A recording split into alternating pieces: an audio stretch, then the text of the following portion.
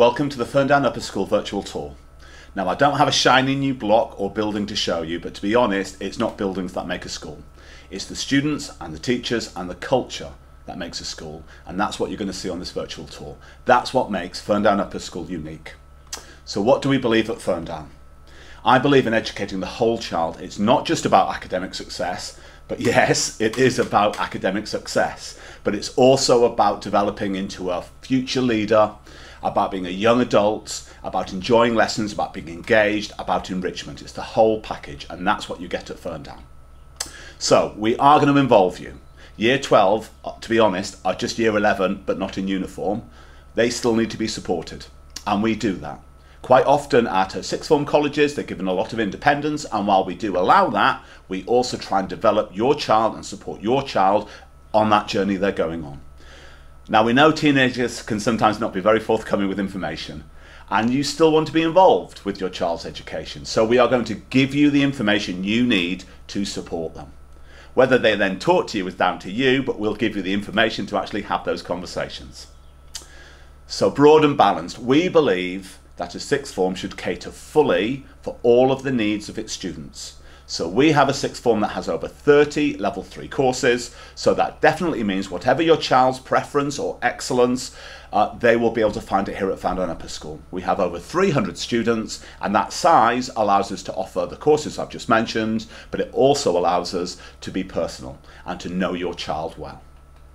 So what can you expect? We are an international sixth form. We think this cultural input from Europe is invaluable in developing a worldview for our students. It helps them to see wider than Dorset. And we have a number of overseas students who join our sixth form every year between 20 and 30, and this input really helps to develop that view that we're trying to develop. We're also known for our creative arts provision and even have a foundation art course in year 14. Normally universities provide foundation art courses, but the quality of art in this school is so high, we can provide this course here, we do it in-house, and actually our outcomes are better than Bournemouth University. So you get a really good deal studying the arts here. You also get a good deal if you are a textiles or a product design student. And for the last two years, our students in those subjects have uh, produced work of such high quality, they have been given the Cobain Shield, that's a Dorset prize, for the best product design arts work in the whole of Dorset. It used to be won by Thomas Hardye, but we've wrestled it from them in the last couple of years, and that's down to our students just producing really high quality work. We're also a STEAM school, I know you've heard of the term STEM, but we're a STEAM school because we are STEM, but we also focus on the arts. So we cover most bases. So we've really focused on science and on maths excellence in the last few years, and we've now added that to our existing reputation for arts excellence. We encourage our students to make a real difference. We realise that sixth form is not just about grades, it's also about making memories, and we try and develop some really long lasting memories for our students. We also like them to make a difference to society and to contribute back to the community. So as you'll see, our students have been involved with a number of activities that have made a difference, that have given back.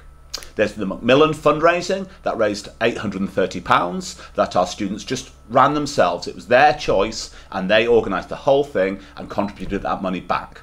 They also were involved with going down to uh, the middle schools and going out to the middle schools and supporting the students there with development of their skills in their subject. So this is our sixth formers going out to Ferndown Middle and helping them with English. We've also conducted two big sleeps now, and that's when our students sleep rough and raise funding by sleeping rough to make money for the homeless of the local area, for Bournemouth YMCA. And as you can see, over £9,000 in those two events has been raised for those homeless people. Our students are also actively involved in our school council. Our school council is when our students have the opportunity to give feedback to us as leaders of the school on what needs to change and what could be adapted. And we really like to listen to them because their ideas are always sound and always good and help to drive the school forward. And our sixth form lead the school council. So they lead the council, that gives us the feedback that lets us make Ferndown an even better school. Our sixth form also have the chance to bid for scholarships and bursaries from the John Thornton Young Achievers Foundation. We are one of the main benefactors of the charity because John Thornton actually came to Ferndown Upper School and our students therefore can make those bids for those opportunities that they couldn't otherwise afford but that would be life changing for them. So where do our students go? As you can see from the graphic, it's very varied. We don't focus on any one single destination because we know that our students have multiple destinations when they leave us.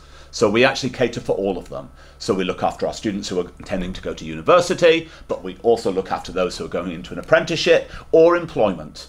And the nice news is that 100% of every year 13 goes to one of those destinations. Even those that are taking a gap year, they still have a job lined up for that gap year and then they have a firm deferred place at university to go to.